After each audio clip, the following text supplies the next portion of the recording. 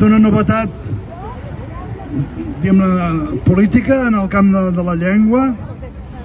Ha, ha aparegut eh, aquest any un manifest ecolingüista, es diu, llegiré uns fragments, que és cap al moviment de llengües subordinades i la sostenibilitat lingüística.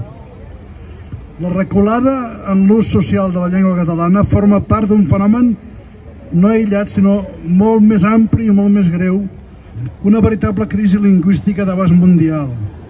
Diversos lingüistes alerten que un percentatge important de llengües que actualment existeixen podria desaparèixer aquest segle XXI i que si no s'apliquen mesures polítiques ni una, un canvi d'actitud i de comportament en, en els parlants i en les organitzacions, la pèrdua de la diversitat lingüística podria ser molt important.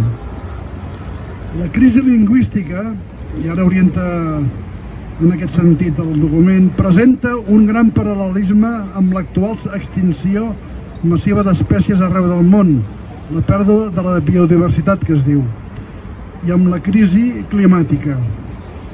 Cal prioritzar sempre l'ús de les llengües subordinades en detriment de les dominants per intentar revertir la tendència actual a la concentració lingüística. Si un individu coneix una llengua dominant i una de subordinada, el comportament més responsable hauria de ser prioritzar la subordinada. Hem de crear, doncs, un moviment fort arreu del món en defensa de les llengües amenaçades. Som molts pobles i parlants de moltes llengües els que hi estem interessats.